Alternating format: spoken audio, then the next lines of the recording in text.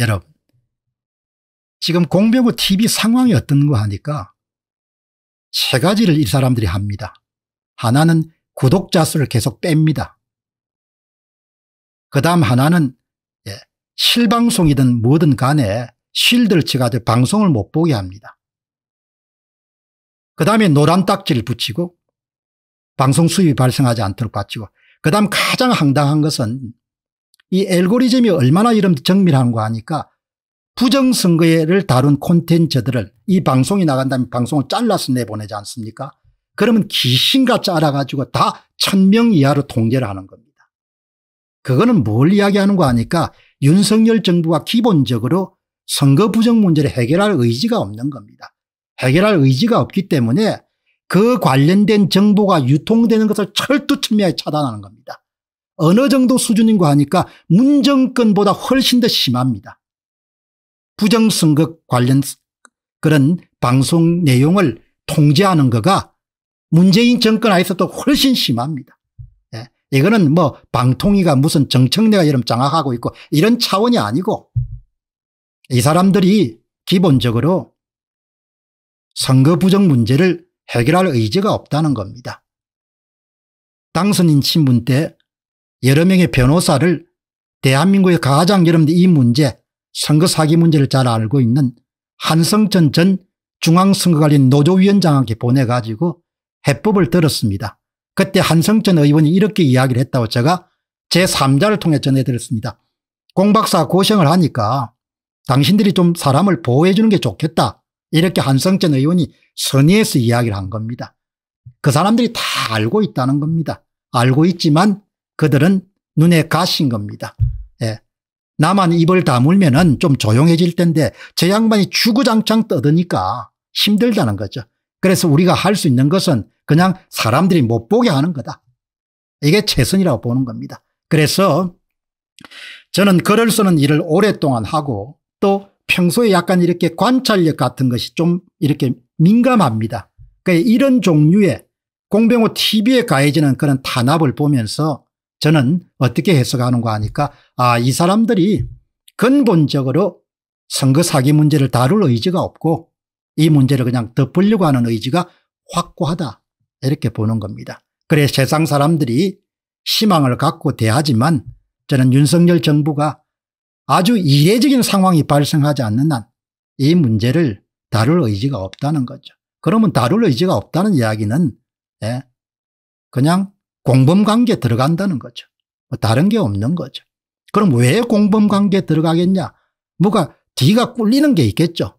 예? 그게 당내 경선일 수도 있고 뭐 그거는 여러 가지가 해석이 가능한 거죠. 국힘당의 당내 경선도 극히 여러분들 불투명했죠. 예? 본인이 알았든지 몰랐든지 관계없이 결과가 불투명하게 이루어진 것은 사실입니다. 아니면은 뭐 그쪽 사람들 선수들은 다 알 거 아닙니까? 예? 국힘당 선수들이나 민주당 선수들이나 선, 자기들이 어떤 식으로 당내 경선을 했고 부정선거를 했는지 다 알 거라고요. 예. 그러니까 뭐 꿀리는 일이 있겠죠. 뭐. 예. 아니면은 뭐 퇴임 이후에 뭐 이 정도 상대방 밥그릇까지 깨지 않으면은 그냥 뭐 내가 퇴임하더라도 좀 안전하지 않겠냐 뭐 그렇게도 생각을 할 수 있겠습니까 안전 안 합니다. 예, 좌익들이란 것은 기본적으로 없는 죄를 얼마든지 만들어낼 수 있는 사람이고 이번 이재명 후보에 대한 여러분들 이 문제를 진실을 따지는 과정에서 이미 선을 넘었다고 본인들이 보기 때문에 본인들이 당선되면 제1차로 뭡니까 공격을 가하겠죠. 부인이든 대통령이든 마찬가지로. 예. 세상 그렇게 녹록하지 않습니다. 그 사람들은 선거를 사기칠 가지고 권력을 장악할 정도의 사람이기 때문에 예.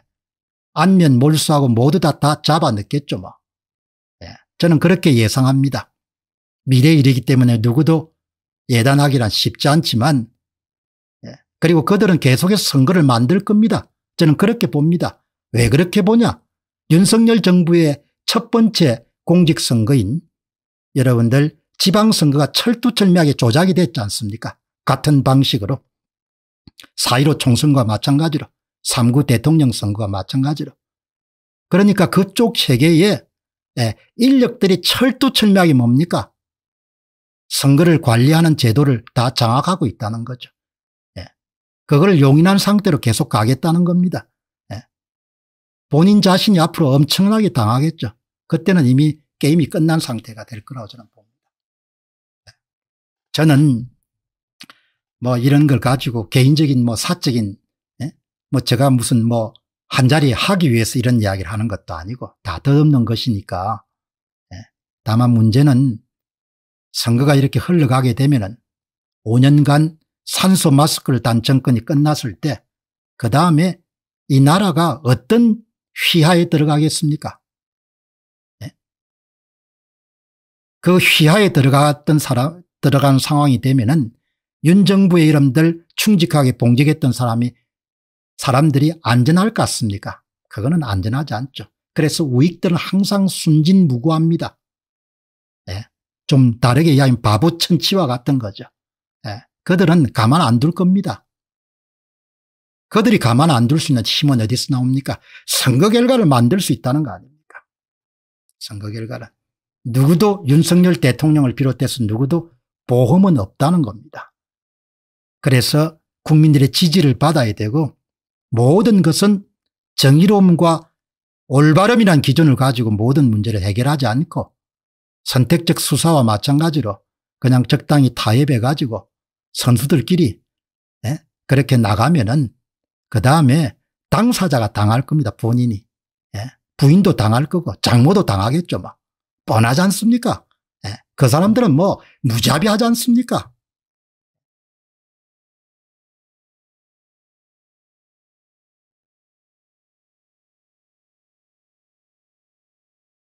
오늘 방송을 통해 가지고 가설 검증이라는 말씀을 드렸지만 제가 개인적인 그런 성향 가운데 아주 좋아하는 것이 무엇이든 열어놓고 대하고 그것이 옳은가 틀린 건 시간을 두고 실험을 해보면서 발견해낸다 이런 생각에 대한 믿음이 굉장히 강한 거죠. 그래서 나이를 먹었지만 머리가 그렇게 굳거나 아 세상에 요즘에 그런 게 어디 있습니까 이런 이야기를 좀처럼 안 올리는 겁니다. 예. 그렇기 때문에 선거 문제도 결국은 그런 차원에서 이제 접근을 한 거죠. 예. 오늘 이렇게 보면은 이번에 월간조선 이문열 선생의 인터뷰를 보니까 좌익은 단계를 통해서 자신의 정치적 이익을 극대화하려고 하지만 내가 평생을 살아오면서 좀 우파적 사회 운동을 위해 가지고 힘을 규합하면 거의 사람들이 없다는 겁니다. 예. 제각각 잘났고 자기 이익을 추구하기 때문에 뭐 이런 성향은 뭐 앞으로도 변함이 없겠죠. 그러나 한나 이름들 분명히 말씀드리고 싶은 것은 현재 윤석열 대통령이나 윤석열 정부가 이 소위 거대한 악 선거 사기 문제를 지나치게 낭만적으로 보고 있고 그리고 이 문제를 덮으려고 하는 의지가 너무나 확고하게 보이기 때문에 그 결과는 그들도 정권이 끝나고 나면 안전하지 못할 것이라는 점을 분명히 저는 예상을 하고 있고 그리고 나라 전체도 여러분들 안전하지 못할 겁니다. 시골에 나가지고 한 발자국 한 발자국을 전진해 왔고 지금도 참 삶이 만만치 않다는 것을 누구보다도 뼈저리게 느끼는 사람 입장에서는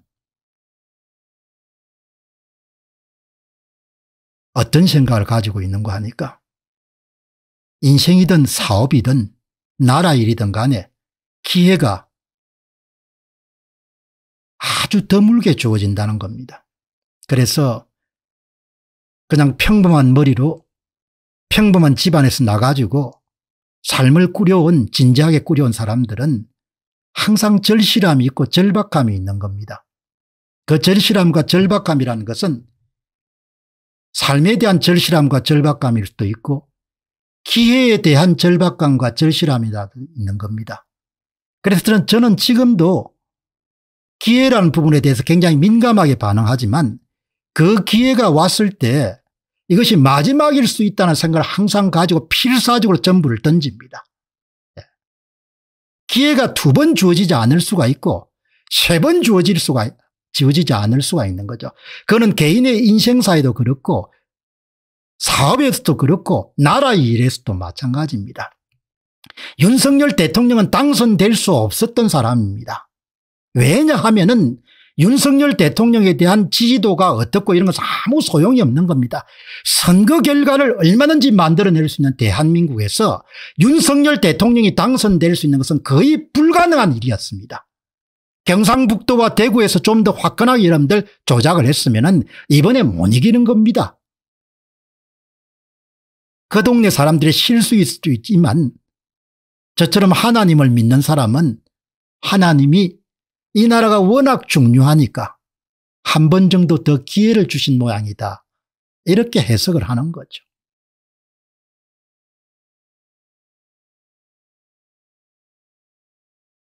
윤석열 대통령과 윤석열 정부 안에 저 같은 마음을 가진 사람이 얼마나 있겠습니까? 다시 기회가 없습니다.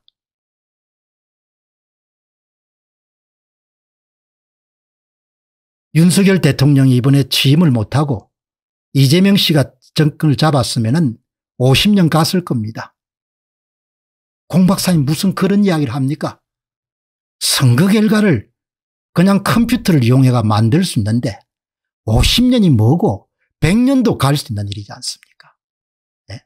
나라가 망하기 직전까지 간 겁니다. 그런 끔찍한 일을 경험하고서도 아직 정신을 못 차린 겁니다. 네. 그래서 저는 서슴지 않고 이야기하는 겁니다. 윤석열 정권은 5년간 산소 마스크를 단 정권이다. 그 산소 마스크가 떼지는 순간 다음에 어떤 천국이 펼쳐질지 어떤 지옥 같은 세상이 펼쳐질지는 각자가 알아서 판결하라.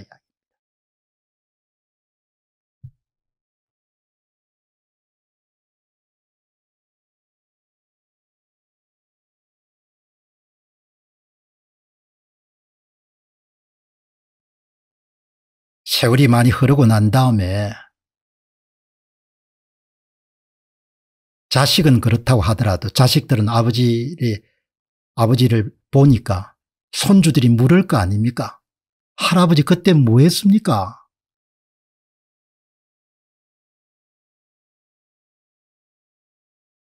손자 손녀들이 물을 거 아닙니까? 할아버지 그때 뭐 했습니까?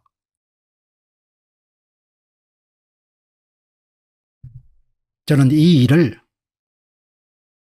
손자 손녀들이 할아버지 함께 물을 날이 올 거다 이야기죠. 할아버지가 도대체 그때 뭘 했습니까?